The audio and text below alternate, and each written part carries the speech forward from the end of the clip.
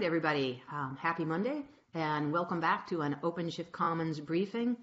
Today we are going to talk about Metal Cubed or Metal 3 or whatever we want to call it, um, but I like Metal Cube the best. And um, it's a new CNCF project. Uh, we have two uh, folks here from Ericsson who are maintainers on the project, Mel and Feruzjon, who I'm going to let introduce themselves. Um, we'll have live Q&A at the end, so wherever you are listening, whether it's Facebook, YouTube, or Twitch, um, ask your questions there or here in BlueJeans, and we will relay them to the guest speakers. Um, and then at the end of the demo and the wonderfulness of Metal Cubed, um, we'll just have a conversation. So, um, take it away. Hello, um, thanks a lot. Um, welcome everyone. Um, thanks for having us today here and giving us a chance to share with you a project that we've been working on. So we are really, really happy to be here. Um, and today we'll be talking you about a quite a young project called uh, Metal Cube, which which does basically provisioning um, for the bare metal host uh, for the bare metal host in the Kubernetes cluster. So shortly, who we are. My name is Feruzjon Muyassarov. I am uh, working at Ericsson as an experienced developer, and I'm one of the MetalCube project maintainers.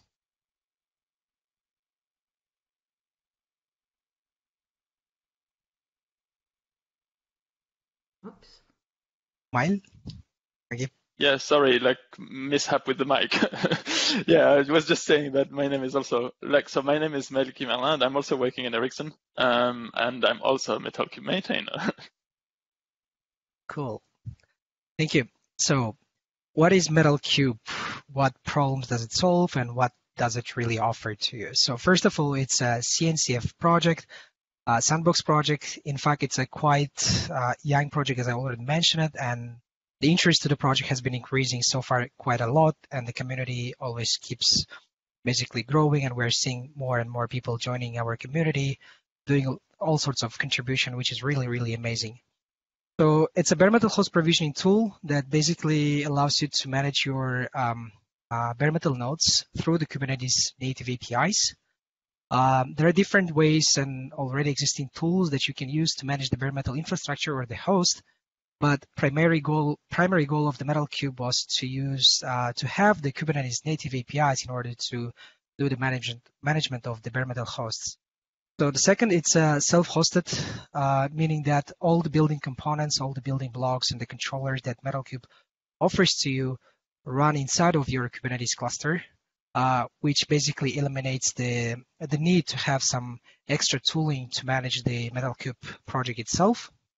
Um, also, MetalCube uh, offers a plugin for the Kubernetes uh, subproject called Cluster API, um, which is the C cluster lifecycle. Um, and uh, we will talk a bit more about the cluster API in the upcoming um, slides. So now let's see what is MetalCube Stack and what does it really represent for us. So let's see the high level picture uh, of what would you get from the MetalCube. So imagine that you have the infrastructure or the bare metal infrastructure that you want to manage, and the MetalCube has a component called cluster, uh, sorry, uh, the bare metal operator that um, basically takes care of uh, provisioning and then deprovisioning of your bare metal hosts. So one thing to note in here that uh, Metal Cube or the bare metal operator under the hood is using Ironic tool, which is from the OpenStack Ironic community. Um, but it's also important to know that uh, we're not shipping any other um, services or the parts of the OpenStack because we're running Ironic as a standalone tool, uh, meaning that um, it's it's really um, under the hood when when bare metal operator is using the under hood the BM, uh, the Ironic, it's somehow uh, hidden from the picture. So and the bare metal operator always uh, takes care of uh, managing the Ironic itself. So you don't have to do the management of the Ironic because MetalCube will do it for you. Um, yeah, and also the next component in the in the in the MetalCube stack is called Cluster API Provider MetalCube, which is also another big component that MetalCube offers. But before we jump into it, I would like to mention that bare metal operator can be used separately. You don't have to use any other components of the MetalCube to do the management because uh, the main component is, let's say, bare metal operator. But if you want to integrate your uh, cluster management, specifically bare metal cluster management, uh, with the other projects like Cluster API, then you have to use the Cluster API provider MetalCube, which is basically the plugin that you can use uh, in order to plug your uh, management into the Cluster API project. So both bare metal operator and then the Cluster API MetalCube, they run uh, inside the Kubernetes cluster. So uh, which would be in this case, which would be really, really easy to manage them. And you don't have to, as I already said, you don't have to have some extra tooling or um, components to manage these uh, the clusters. Um, and then the last component in the stack is the cluster API. Uh, so the cluster API is the high level project in the stack, let's say, that offers some uh, machine objects and then uh, cluster objects. Uh, and then those objects are uh, represented by different infrastructure provider in different ways.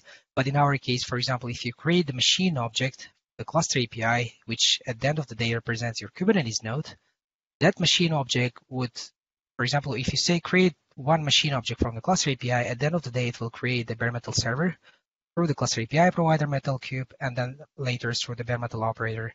And then you will have basically bare metal server that is managed by the high level object like a machine from the cluster API. Great. Um, so, so quick overview of the cluster API uh, before we dive into the MetalCube project.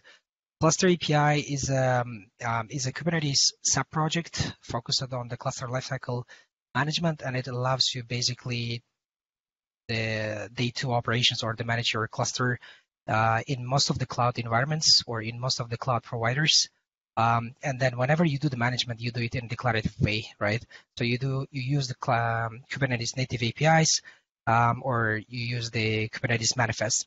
So in short, you will be able to deploy and uh, and manage your Kubernetes cluster via the via the Kubernetes.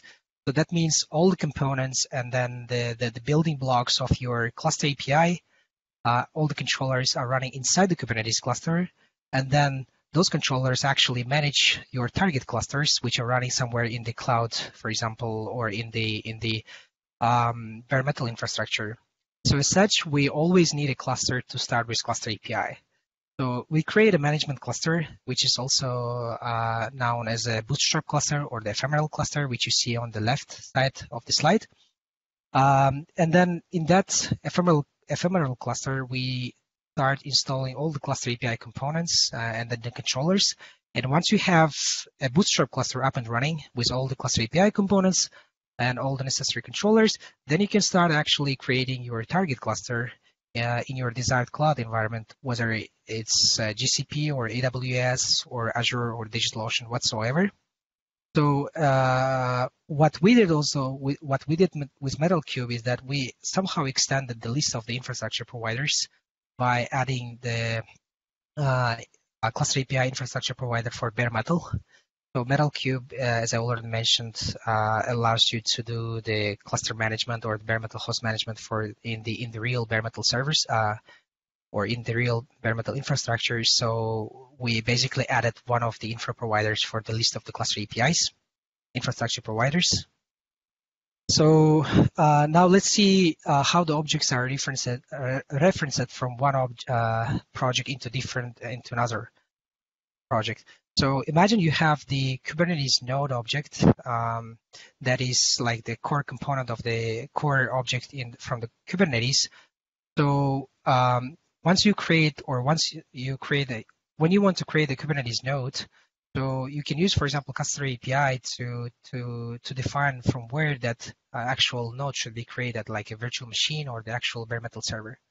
So uh, the node is uh, transformed into the machine object, which is coming from the Cluster API project. So uh, which is kind of the generic across all the infrastructure providers. But uh, once you create the machine object from the Cluster API, then you have to tell in which infrastructure do you want to actually create the machine? For example, you can say that I want to create the machine uh, or the virtual machine in AWS, or I want to create a machine on the Google Cloud, or I want to create a real bare metal server that would represent my machine, and that will be uh, basically uh, represent the Kubernetes node, right? So once you have uh, define it from where you want to, from which infrastructure you want to create your machine, then you will have the actual cloud infrastructure that will be taking care of creating virtual machines in the cloud uh, for the cloud providers or the actual bare metal server for the MetalCube, for example. So what happens is that in most of the cloud providers, uh, the process will end up in in, in the in the cloud uh, infrastructure itself. So the, all the cloud providers have already have uh, their APIs to manage their underlying infrastructure.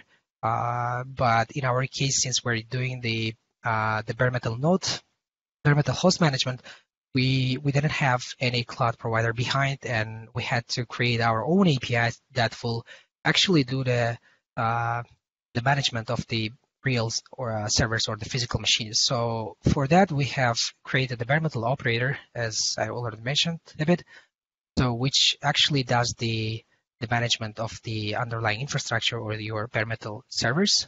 Um, and then at the end of the day, it will basically talking to your um, uh, the the bare metal server.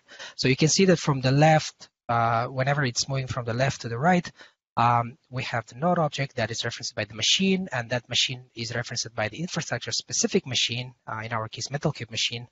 And then we talk to bare metal operator and then ask, hey, I want to create a one server in this data center. Please go ahead and do this, right? So instead of having some uh, APIs like uh, any other cloud providers. Yep. So the next thing is the MetalCube custom resource definitions and then the CRDs, and I will leave this part to Mile. Yeah, thank you very much. Um, yeah, so let's dive a bit deeper in the in the technical details of the um, of the MetalCube project. So we're going to start uh, with this kind of like overview of the different elements that uh, that we have and how they work how they work together. So you've already heard like all these kind of terms like the metal operator, the met, the provider metal cube for cluster API, cluster API itself. So basically, for, for all of those, there's like um, there's objects representing like real um, uh, real items. Like for example, we have a cluster object that represents the the Kubernetes cluster, and with its like equivalent for the provider that is here, the metal cube cluster. Um, same way we have the machine that represents the, um, the Kubernetes node and the MetalCube machine that is the infrastructure provider equivalent for that machine.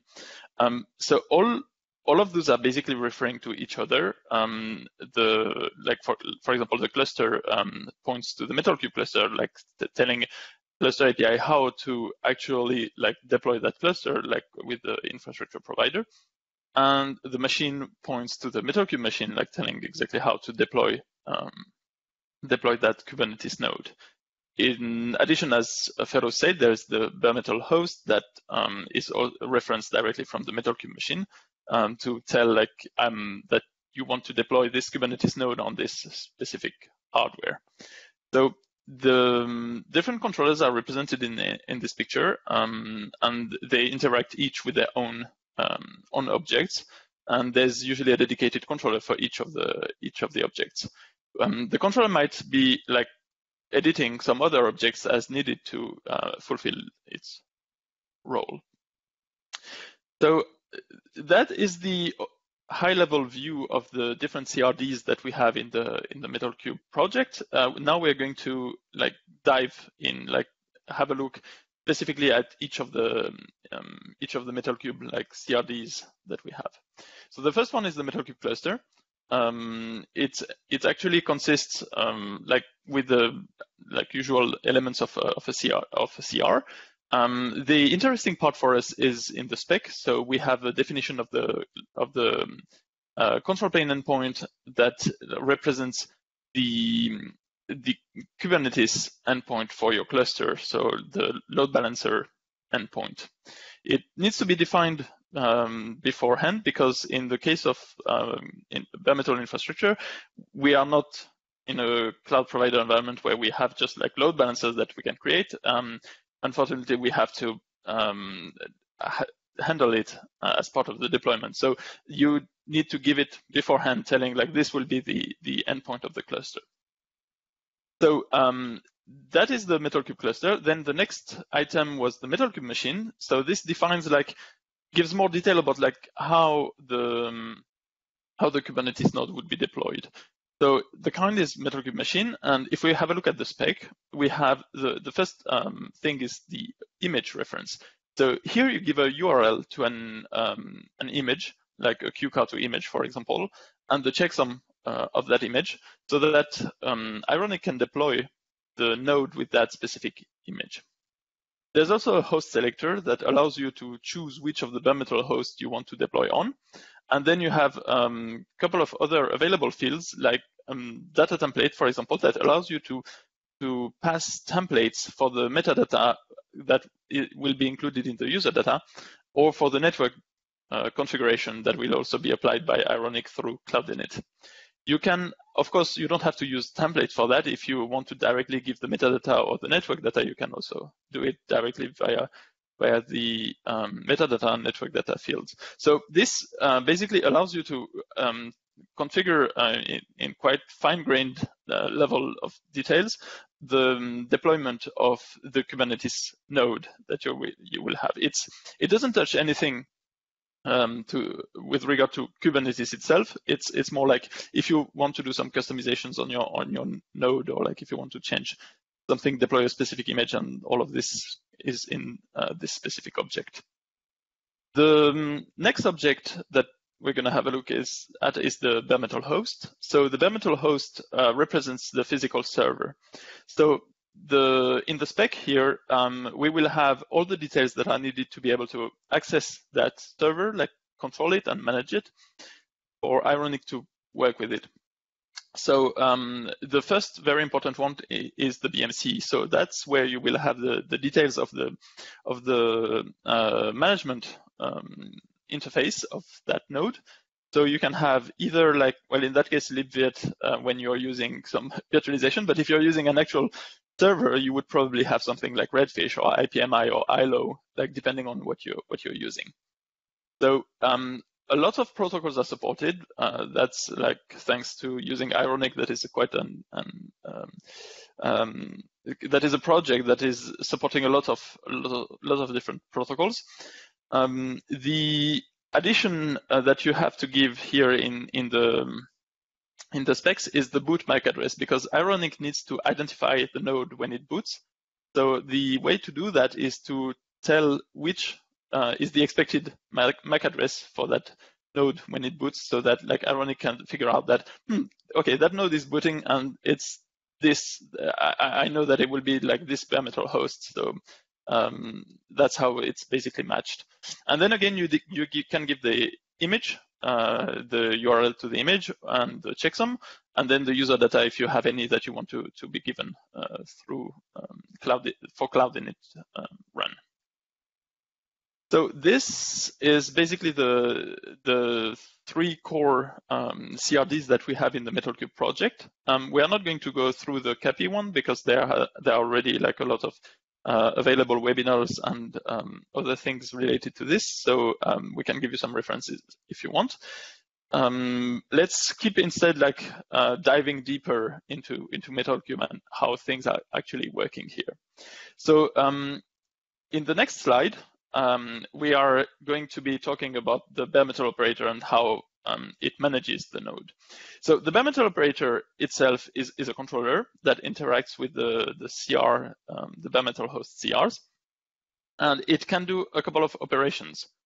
So the first one would be to inspect the hardware. It's able to like boot the node and then um, run something that is called Ironic Python agent that will like go through all the specs of the of the hardware and report it to um, to Ironic, and the metal operator will be able to fetch that data. So at the end of the inspection, you will have, for example, the NICs, um, the dri hard drives, the CPU, um, the firmware, like a lot of different elements that are available for you to um, to fetch from the bare metal host CR. The second operation that uh, bare metal operator can do is to provision a host. So you can give it the image and then it will take care of making sure that Ironic will write that image to disk and reboot your server to boot that specific image. The third operation that uh, bare operator can do for you is to clean the disk, and that usually happens during the provisioning and deprovisioning um, of the of the operator. There's then the like a couple of um, let's say um, useful um, capabilities of bare metal operator. It can, of course, like manage the power of your node. So like um, if, if you need to reboot it to power it on, power it off, like you can do it through the CRs, just ed editing the bare metal host CRs. So um, let's like talk a bit more, maybe like in, in more fine details uh, about the um, the bare metal operator and the ironic interaction. So the bare host, the the CR itself, uh, points also to a couple of secrets, and th those secrets contain the user data and uh, the metadata, for example, and the network data. All those are um, for uh, Cloud Init, and when you give it, um, you can give it as um, as different elements, but at the end they will be combined into um, a config drive. And so Ironic takes care of this, and then uh, when bare operator in, uh, instructs Ironic to to start the deployment, then Ironic will start talking to the BMC to turn on um, the server, and then the um, the the server um, will boot the Ironic Python agent. Ironic will then directly talk with the uh, with the Python agent um, that is here called deploy ramdisk, and mm, ask it to basically download the image from um, whatever web server where it is stored and write it to the disk. So that's like to the local disk. In addition to this image, it will also uh, write the config drive on a specific uh, part of the part of the hard drive. And then once that is done, it will just instruct the server to reboot from the hard drive, and then it will boot into the image that you asked. So that's how the magic happens. Um, now, like if we want to go even deeper in the details, uh, we can like see how this happens under the hood. So when basically when metal operator um, registers the node, what OpenStack uh, Ironic does under the hood is that it goes to talk to the BMC to turn on the server. The server will send a DHCP query when booting because it tries to boot over PXE. The um, dnsmasq um, that is, in that case, uh, with the role of DHCP server will answer and in the DHCP reply give all the details about the image that um, the server needs to download to boot uh, from PXE, and that, it, that would be IPA. The um, server will then proceed with introspection on the first the first time the the first time the the server starts with IPA, it will always do the introspection and then um, send the report to Ironic. That bare operator will then be able to fetch directly from, from Ironic. And once the node is introspected, then you have it ready and you can start like provisioning a node and like deploying something on top. So the, for the provisioning, um, so same thing, bare operator will start talking with Ironic and Ironic um, will like boot the IPA again on the server and then instruct it to deploy the node.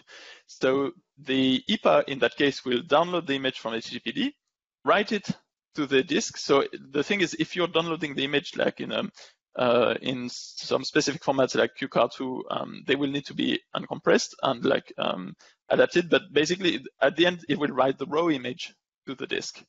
Once it's ready, it will send a signal to Ironic that will then trigger a reboot. And metal operator will then update the status and say like, hey, there you go, your node is ready, you have it provisioned.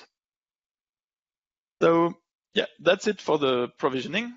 Um, now, if we talk a bit about the integration of the cluster API provider MetalCube and the different functionalities that this handles, um, we have the, the following. So um, this is really the, the integration with um, cluster API that um, the, the MetalCube object like MetalCube cluster and MetalCube machine are actually interacted with uh, the cluster API um, controllers. So we have the different elements like MetalCube cluster, MetalCube machine, um, but there's also like additional ones that we didn't uh, go too much into details, like the machine template that allows Cluster API to generate MetalCube machine uh, based on this. Like you can uh, think about it like maybe um, for deployment, the spec part of a deployment that is then translated into actual pods. Um, or like some data template that would be from which you can generate the user data um, and like including also the network data for the for the node. So um, all of this are like linked to um, cluster API provider MetalCube, and the result is a single like Cloud Init file um, that is then handled as a user data and passed to bare metal operator that then forwards it through Ironic uh, onto the config drive on the node. And then cloud, when Cloud Init starts, it will find this um, cloud, cloud config and run with it, deploying your Kubernetes node and have it getting it ready. And then once it's boots, once it boots, it will join the Kubernetes cluster. Or like if it's a control plane, then it might start with just a kubeadm init, and then the further on, the next control planes will join, and then the workers that are all deployed through this process. So um, that's enough, I think, like uh, details right now. Um, I will give it back to Ferus for uh, presenting the demo of all all this that we just uh, talked about. Can, can we pause just for a quick question because um, Peter asked a question um, about back around the provisioning. So before we go into the demo, and he what he asked was, does the image get expanded to fill the hard drives um, on the server when you install, or do you need to specify a specific layout, etc.? Um, so the expansion happens later when the when the server actually boots the image. That's usually at that time. But uh, of course, you have like the the specific um, size of the image will be written to the disk. So like, let's say you have um, a raw image that is actually 10 gigabyte. You will have this 10 gigabyte on the on the hard drive, but uh, your hard drive might be like I don't know, like 500. So um, you of course will get it expanded when you boot the actual node and that's part of the actual um, image, like um, this mechanism. Okay, so he's asking a little bit of a follow-up question too. If you have multiple disks, et cetera, how do you manage, customize the image location, boot configuration, et cetera? Or are you going to demo that for us now? Yeah, that's a very good question, and I don't think it's part of the demo. Um, so the way to do this um, is actually an ironic mechanism. They call it root device hint, and the root device hint allows you to specify some identifier for the disk that you want to deploy on. So you could say, for example, um, I want a disk that has this WWN to um, deploy to write the image on, or you could say like any disk that is over 500 gigabyte will do, or you could like there's a really a lot of ways to to figure out which disk. Like you could even say like by path, for example, like dev SDA or like, but the the, the path is a bit tricky because um, it's it might change like and you're never really sure that that's the correct one so we really recommend using other things like the wwn for example and a final question from peter peter's got a lot of questions he's obviously interested in this can you provision hardware raid and other hardware configuration as part of this setup it depends. Um, software RAID is uh, out of the box supported, but for hardware RAID, it, it depends on which um, which um, let's say hardware you're running on. Like um, some of them, like if, if, you're using, well, I'm not exactly completely sure of which which is uh, really supported in this case, but some of them have a RAID configuration possibility. Some Dell servers for sure. I'm not sure if um, ILO supports really this, but um, that can, is something we can dive in uh, to, fig to figure out. Awesome. Yeah, but right. it's it is definitely possible in some of the cases. Everything's everything's possible. It's yeah. With a little exactly. extra, with a little extra documentation. It sounds like something that, that needs a little documentation. Yeah, but, um, it's just that personally, I, I didn't um, have the need yet to do any like kind of RAID uh, configuration, so I haven't dived into this, but it definitely is possible for some of the hardware. So let's go to demo time now then. Great, cool. thank you. Yep, Thank you very much. Let me switch to my terminal then quickly. Right.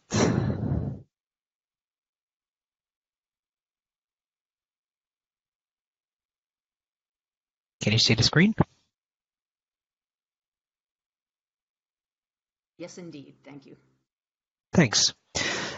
So um, we have done the recording um, for the for the demo but maybe I will first actually show something else before we jump into the I forgot the actual demo.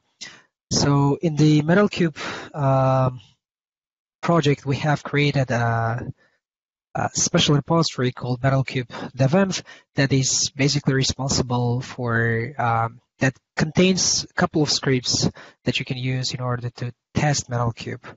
So using the MetalCube devenv, you can, for example, deploy um, cluster API provider MetalCube. You can deploy bare metal operator. You can create a couple of virtual machines or libvirt virtual machines and manage them as if they were your real bare metal servers. So the reason that we're using virtual machines is the first, we cannot always provide bare metal servers for testing and it gets very, very complicated. Uh, but thankfully, we have some uh, kind of tools that allows us to really, really replicate the real world scenario with real world scenario with the with the virtual machines. So, for example, instead of using the BMC like you would use uh, in real bare metal servers, we're using virtual BMC uh, that will basically talk to the management of your uh, virtual machines. So um, so what happens, what will happen during the demonstration is that we're gonna clone uh, the MetalCube devenv repository, uh, go into the path and then run the make. So uh, in the place where we're running the make, um, so it's gonna first install the cluster for us. Um, and then inside the cluster, it's gonna install a couple of components like the cluster API, which I uh, already talked, like which is a high level um, the, the core uh, project, let's say, and then we're gonna install, it's gonna install the cluster API provider MetalCube and then the bare metal operator for us. So uh, all those components are running inside the this cluster, and let's call this cluster as a source, but it's also known as ephemeral or the bootstrap cluster. So once the uh, all these components up and running, uh, the scripts will create a couple of virtual machines for us, or libvirt virtual machines, and then it's gonna um, uh, join, uh, it's going to create the bare metal host objects reconciled by the bare metal operator. And those bare metal host objects will represent the virtual machines that we have created. Um, and then uh, once we have the, the virtual machines that are referenced by a particular bare metal host, we're going to start the provisioning of the of the uh, the bare metal hosts. So the provisioning, like we're going to install some operating system into them uh, then inject some SSH keys, and then go into the inside the VM and see if the cluster is running and if the if the uh, if the bare metal um, host or in our case libvirt virtual machine is part of the target cluster. So, but once the the operating system is installed or the uh, provisioning is done, um, the scripts will try to create a target cluster for us and then join those uh, bare metal hosts or the nodes into the target cluster. So in that case, we have two cluster, one source, and then the second is the target. Uh, then the target is basically running on the bare metal environment, but in our case, it's an emulated environment, so we will be running on the bare metal, uh, uh, on the virtual machines or libvirt machines. And once you have cluster up and running with those nodes, you can do any kubectl operation, CRUD operation, create, delete, update, whatever, uh, on the BMH object, which is the uh, uh, short name for the bare metal host, or you can do any operation on the top level object, which is the machine coming from the cluster API object. All right, now I'm going to switch to my terminal and start playing the, the recording we have done you. All right, so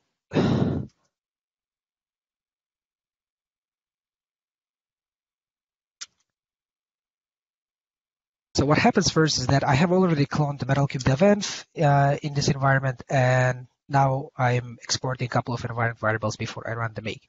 So for example, here I'm specifying the container runtime uh, to be used. Uh, in the Metal MetalCube devenv, you can use different container runtimes. Uh, uh, for example, you can use Docker or the Podman. And then here I'm specifying the target uh, OS that will be uh, provisioned, that will be used to provision the target node. So I'm specifying the Ubuntu. Of course, I'm not telling which version of the Ubuntu because we have uh, made it in the script that you just specify the version and it will just pick the right one for you.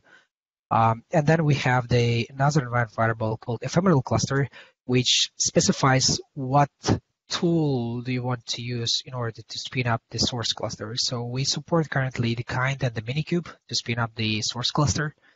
And then the, sec the, uh, the next variable is the uh, CapM3 version, which is the cluster API provider MetalCube version. We have different versions of the CapM3. So in this case, we're using the latest one, v1 Alpha 4. and then the number of the nodes, which represents the number of the virtual machines or libvirt machines that you want to create in your environment. Right. So once we have exported, we start running the make, um, and then this process will gonna will take a couple of minutes. Um, it's it's gonna actually take a lot of time. So we have done the magic with the video, of course. So once the the script has finished um, to run, uh, and then we're gonna run the uh, one of the script called verify.sh, which will basically do the, some checkup uh, in order to make sure that we have created desired number of the virtual machines, that we have created the uh, desired uh, replicas of the bare metal host, um, and then we have all the networking set up properly and all this kind of checkups basically. And then at the end, you can see that we have a couple of um, some containers up and running uh, as a Docker containers. Uh, these are mostly uh, used to do the management of your actual libvirt uh, machines. So you can see that all the checks have passed. Um, and now, now here we can see uh, a couple of things. First, we can see that uh, we have four uh, virtual machines in a powered off state. Uh, at the same time, we have four uh, ironic nodes that represents uh, that are referenced by those virtual machines, but in real case, it would be your bare metal server, for example. And then at the same time here in the last, you can see that we have four bare metal host objects, node 0, node 1, node 2, and node 3 in the ready state. So ready state means it's ready to be provisioned. It has no operating system, uh, so you can start actually provisioning. But uh, introspection is already done for it, uh, and it, it's also registered in in in, in your um, it, it's also registered for the bare metal operator, right? Um, the manageable is also from the ironic perspective. That means that you can like start provisioning uh, the those ironic nodes. So um, then we in the in the same environment we have a couple of scripts um, that we use to provision the bare metal uh, bare metal hosts. So you can see here we have cluster uh, script, we have control plane, and then we have worker script. So we first start executing the clusters uh, .sh, which will basically create the cluster object and apply into the cluster. And then it will create also a MetalCube cluster object, which is MetalCube specific. Then the control plane.sh will create um, one machine object and then MetalCube machine object and then the bare metal host object. So it's kind of linked. And then at the same time, it will create another, uh, when you run the worker, it will create the same chain, basically machine, then MetalCube machine, and then the bare metal host. So we will have in this environment for now two bare metal hosts, two MetalCube machines, or two machines, or two libvirt machines, uh, virtual machines that we will use in our cluster. So one of the machines will represent the Kubernetes control plane node, and the second one represent will represent um, the Kubernetes working node, let's say. So uh, I'm going to skip how I run the scripts. So basically, I have run the scripts here. And after some time, you can see that provisioning has started. So uh, provisioning does not start in parallel. It will start, uh, it will do the provisioning one by one. So you can see one of the provision, one of the nodes has started provisioning and it started with control plane, uh, of course. And then the, the, the virtual machine or the libvirt machine that represents that uh, bare metal host are, uh, is up and running. And then you can see from the Ironics perspective that uh, that node is in clean wait state meaning that it's actually right now doing the cleaning as my uh, earlier mentioned, and it basically wipes out uh, all the disks that are available on that uh, libvirt virtual machines, virtual machine, sorry. All right, so it's gonna, this process also will take some time, and after a while, uh, we should be able to see that two of the uh, bare metal hosts are now in provision state, and then uh, you can see that two of the uh, libvirt virtual machines up and running, and two of the ironic nodes are in active state.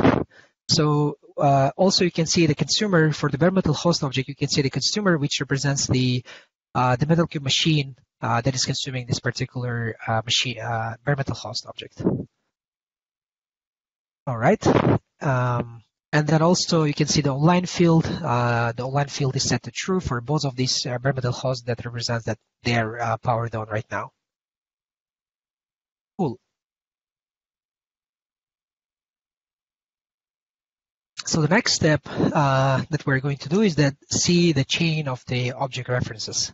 So we mentioned a couple of times that we have cluster objects, some objects from coming from the cluster API, some objects are coming from the MetalCube, and then they are referenced by each other. So uh, the first object, the core object coming from the cluster API is the cluster. Uh, you can see that it's in provision state.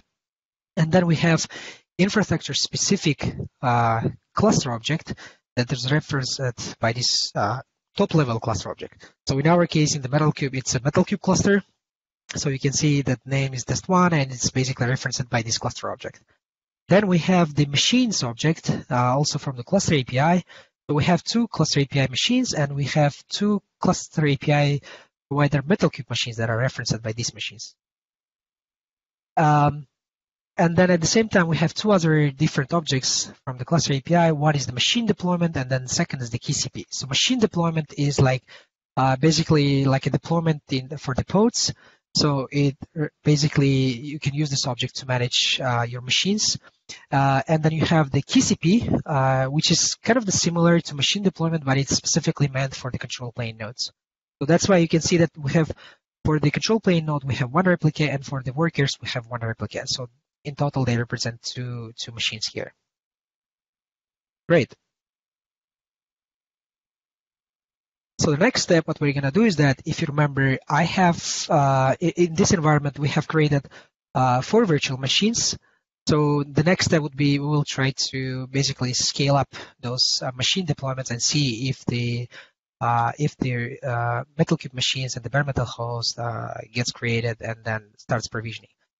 Uh, but before that, uh, I would also like to show you that now we have two bare metal hosts uh, provisioned. They are part of the target cluster. One of them is the control plane, and the second one is the, the worker.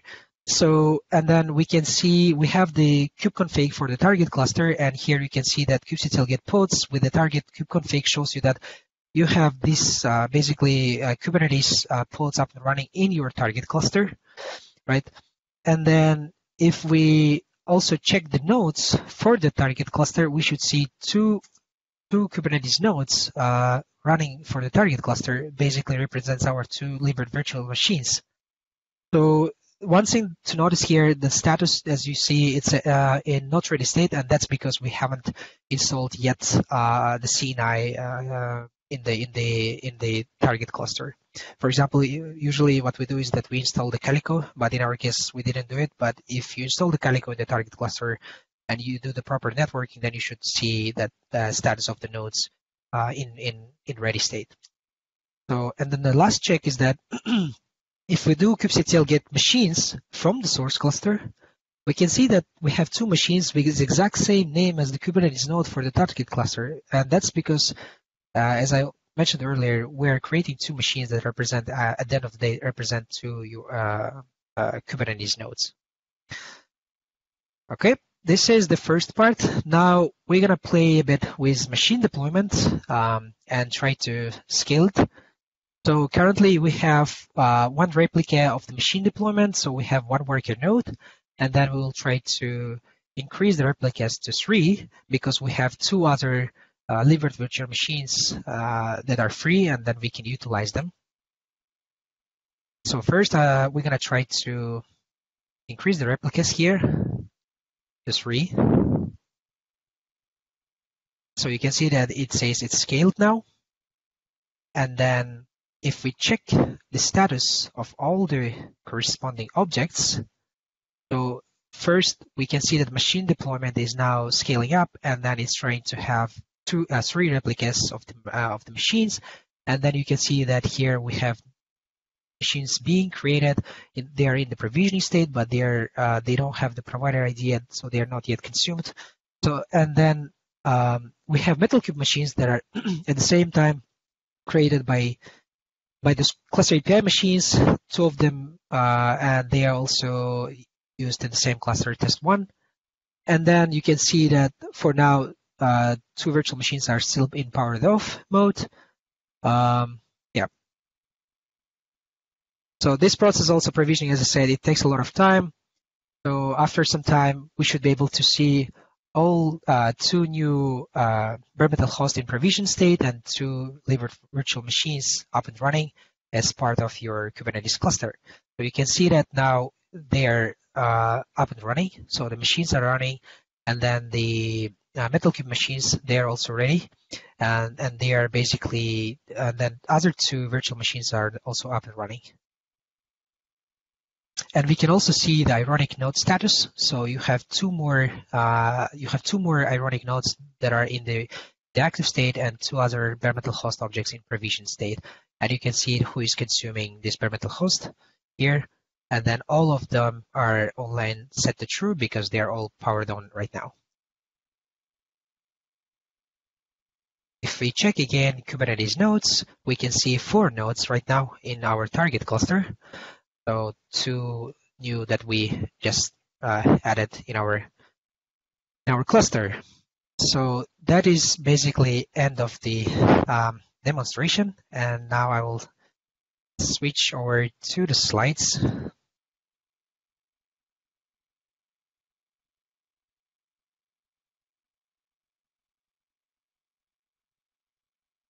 Great.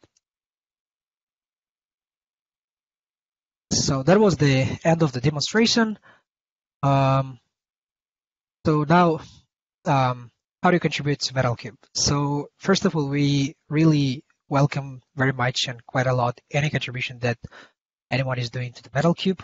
Uh, as I said, MetalCube is kind of uh, is young project, and but we're growing really fast, and we have a lot of contribution from from different companies, uh, uh as I as, as was listed in the previous uh, in the previous slides. Uh, so the the contribution that you are doing, it can be basically anything. So you can do any documentations uh, uh, contribution. You can have some requests for the new feature. You might have some found some bugs, and you might have to fix them if you want to, or you can report by the issues. Um, you can participate in helping uh, creating the talks or presentations like this, or the writing some blog posts. We have in the MetalCube.io website we have a lot of blog posts that different people just write about the features uh, in the from the MetalCube, trying to share the knowledge basically from the, with the community and uh, outside of the community. And then any questions that the, even the feedbacks that you might have uh, for the MetalCube is really really appreciated. So we really love and we would really appreciate to have some contribution from your side. So and then also about the community, I mentioned the community. So we have the MetalCube community. Um, it's quite diverse. Uh, as I said, we have different contributions in different time zones. So the the the, the GitHub page is the metalcube.io, uh, metalcube-io. So we have contributors from currently AT&T, Dell, uh, Ericsson, Fujitsu, Mirantis, and then the Red Hat. So if you want to reach out the community members or ask any questions or chat with the community members or the contributors, you can join the, the Metal Cubes through the Cluster API bare metal on the Kubernetes Slack channel. Or if you have some questions, you can also reach out the, the maintainers through the CNCF mailing list, or you can reach out the communities through the MetalCube's own uh, mailing list. Uh, and also you can watch some updates and then new features being added through the Twitter. Um, so we have the community meetings that happens every alternate Wednesday um, at uh, 1 p.m. UTC time. Um, it happens on the Zoom uh, you can find the link here. And then we also have the recordings and different kind of uh, demos on the MetalCube YouTube channel that represents um, different features of the MetalCube and then some discussions that we have during the community meetings that you might be interested in. And that is the last uh, slide for our presentation today. Thank you very much for listening, and I hope it was interesting and somehow informative for you. Um, yeah, thanks a lot.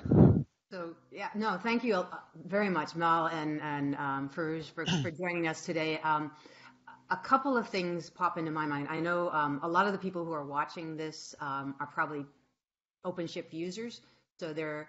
I, I, believe there's a set of instructions, and if somebody, Peter, maybe you um, can pull up the set of instructions. There's a, a different, a slightly different deployment approach when we do it. Use Metal Cube, I think, the bare metal deployment on there. So just not to confuse the two, we are using MetalCube um, for the OpenShift provisioning of um, bare metal, but there's a whole set of documentation on how to do it using OpenShift. So, um, and that's the beauty of open source. Um, so it gets used um, by lots of people in lots of different ways, and we all get to collaborate on it. So this is I think it's pretty amazing. It's it's wonderful that you're in the CNCF sandbox. I know that was um, a recent um, event. Uh, uh, was that a couple months ago? I don't know exactly. Yes. Yeah, a couple months ago, and it's a pretty healthy community that you have around um, around Metal Three already. I think it was it filled it definitely filled a gap in the pantheon of uh, the CNCF landscape, which is amazing to think that there was a gap because there's so much stuff in that landscape diagram. But um, bare metal was one of those things that um, really wasn't being addressed very well. So I think this is a perfect fit for um, for the um, CNCF uh, sandbox and hopefully incubation sometime not too distant future. Can you tell us a little bit, um, I guess, um, and let me see if in the chat if anyone else has questions besides me. Peter was saying BMC is also used with OCP, but it bootstraps all the typical OCP installation process. Yeah, that's definitely, there's a slightly different deployment method, methodology for when you're using this on um, OpenShift. So definitely read the OpenShift bare metal docs um, if you're watching this. And if you're watching this from anywhere else, doing it anywhere else, that's, you know, read the stuff that's on the um, metal3.io website um, and contribute your feedback to that, that website too. I think that's the beauty of this project and a lot of other projects at the CNCF is that um, they may get put out there by Red Hat initially or something, but then they get adopted by Ericsson and AT&T and Mirantis, and um, everybody's collaborating on it. Can you talk a little bit first um, about, about um, the use case at Ericsson? You know, what made it um, so important for Ericsson to get involved in this project and to, to move, help move it forward? Because you guys, two of you, maintainers on the project, obviously Ericsson's got a big commitment to using this. Um, can you tell us a little bit about that and how you got permission to participate so actively in the project? Yeah, I can take the question if uh, so um, yeah, we, we actually have quite a big commitment indeed. Like it's 10 people working full time on the on the MetalCube project on the Ericsson side. And the reason for that is that um, Ericsson has its own um, Kubernetes distribution called CCD. And um, so there was a request for the bare metal um, for bare metal support. And so we were looking around and found out that Cluster API had actually like a very interesting ID that we wanted to to take in. So we were looking for like a provider for like bare metal, and at that exact point, um, the MetalCube project popped up from like Red Hat, got started at, at the this exact time. It took us a bit of time to get on board because um, internally we have a lot of NDAs and stuff like this that prevent any kind of open source contribution. So um, there's actually a second entity that was created uh, just for um, open source contribution. So people had to move uh, companies to to be able to to to do the the open source. But then we actually like really got on board and started like contributing as much as we could to, and and now um, MetalCube is really used as part of the uh, like core of the bare metal solution for Ericsson's Kubernetes distribution. So so there are a couple other questions here you, um, that are popping in that are more related directly to the project. Um, one is asking, what are the prereqs before you start the installation, like DNS, network availability, BMC configurations, etc.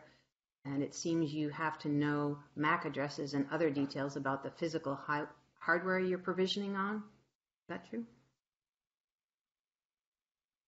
Yeah. Well, um, I want to take. Sure. Yeah, go ahead. um, go ahead. The, there's a couple of things you need to have done um, before you can start any any deployment. Is of course the networking, like that needs to be in place, um, like on the physical level, but also on like the configuration of the switches and everything. Um, you also so then that's at that point you should know already the MAC address of the interface that boots over PXE, um, uh, like to to be able to register the ironic node properly. Um, you don't need to know too much more about the the hardware. Maybe some details about the hard drive if you want to select one specifically for the for the installation. Um, the the and with regard to the BMC, um, it needs obviously to be configured and reachable um, so Ironic needs to be able to reach to reach it. So meaning that the node where the Ironic uh, pod runs in the cluster needs to have access um, through routing or direct connectivity, it doesn't matter, um, to the to the actual BMC, and then you store the credentials for that specific node's BMC in the um, in the secret uh, for the bare metal host. So yeah, there's a, bit of work to be done beforehand. Like you need to have your BMC configured and the credentials there. You need to have the networking done. Uh, but once it, it's kind of like an initial setup, and once that is done, then you can deploy uh, whatever you need on top. I hope that answers the question. I think it did. Um, and definitely, I, th these have been great questions, Peter. So, so thanks, because there really are some, you know, a lot of people are trying out this project for the for the first time. Um, and I know one of your colleagues um, or, or, on the project, Himesh, is working on um, doing a de demo of deploying uh, metal cubed on OKD4. So he's coming to the OKD working group in not too distant future, hopefully to demo that as well. So there's lots of um, lots. There's still lots to do in this project. Um, it's you can use it in production. Obviously, you guys are, and lots that. But there's still lots of places where you can contribute and give back. Um, and people are really looking for feedback on this project. So if you're testing it, deploying it anywhere, whether it's OKD or who knows where, um, then definitely um, give some feedback to the metal3.io group. I know you guys also have a webinar coming up, um, the CNCF webinar. Mael, I think, or maybe Ferouz is going to help you, back you up on that one too, but that's in sometime in December. But there's lots of opportunities. If you can throw back up your slide with your final resources, because I think that's probably a really great place to end this one today, um, so that people know how to get a hold of you all and um, and participate in those community meetings. And I hope um, we'll see you in the incubation channel sometime, not too soon. I know you just jumped out into the sandbox, so it may take a little bit more doing, but um, it's definitely something. And um, I'm betting that you guys might have a few talks at KubeCon coming up you get any? Mm, we don't have talks per se, but we have office hour now. Like because we now have our uh, sandbox project, we got the benefit of being able to schedule a couple of office hours during KubeCon. So we're gonna have two. Um, one of them is in the 17th of December, and the other one is on the 20th, I think, but I don't recall the hours. With the time zone, it's anyway such a mess. I wouldn't yeah, be able think, to say right now. the 17th of November, probably. November, sorry, yes, obviously.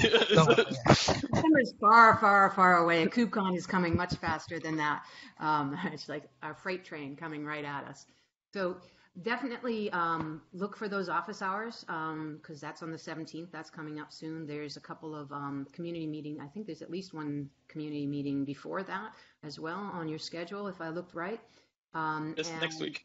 Next yeah. week, yep. So there's lots of places where you can participate. Um, and if you are an OpenShift user, um, do check the documentation on OpenShift for the bare metal deployment because it is a slight variation on this. Um, and you'll probably need some more details. But this is um, a great way to, to showcase um, how someone like Ericsson um, and is putting huge effort into um, stepping up and contributing back and collaborating with lots of other people to make something um, wonderful that we all get to you know get to use and take advantage of and hopefully contribute back to. So, Ferouz and Mael, thanks for taking the time today. Um, we really appreciate this and um, keep us posted. We'll have you back um, when you get your next release um, and you can tell us about all the new features and look for a demo by Himesh around um, deploying OKD4 on bare metal using uh, Metal 3. I think that's um, one of his challenges of the month to do. So and there's also a great blog post, uh, series of blog posts on the Metal3.io uh, um, website too to check out. So if you have a use case for this um, and you're looking for some place to um, land and have a conversation about it, definitely reach out and join this crowd. So thanks again, everybody, and um, have a wonderful week. It's only Monday. Thank you very much.